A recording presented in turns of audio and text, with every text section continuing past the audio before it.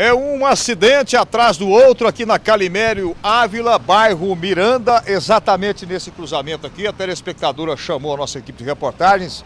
Esses cacos aí que o Fabrício está mostrando as imagens, é, sinais da última batida que aconteceu aqui sábado à tarde.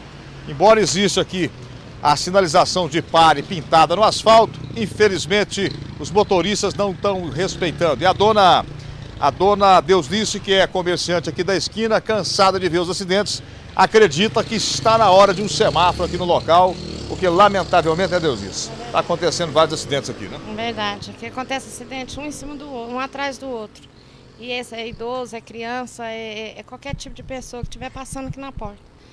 E já até aleijou um, tem uma menina que chama, por nome de Indinha também, ela é, tem problema de, de, de o defeito dela físico por através do acidente aqui na porta. E sem contar com os matagal, né?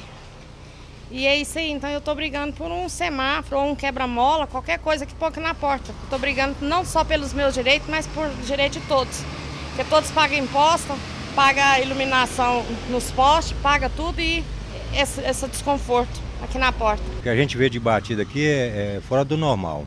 Aqui, quando o bicho está pegando mesmo, bate até bicicleta com bicicleta mesmo, para ser sincero. Final de semana aqui é a coisa mais feia. É, né? uma coisa não, não, funciona. Eu moro aqui já há 18 anos, tenho uns 8 de, de, a 10 de asfalto aqui, e todo dia é isso aí.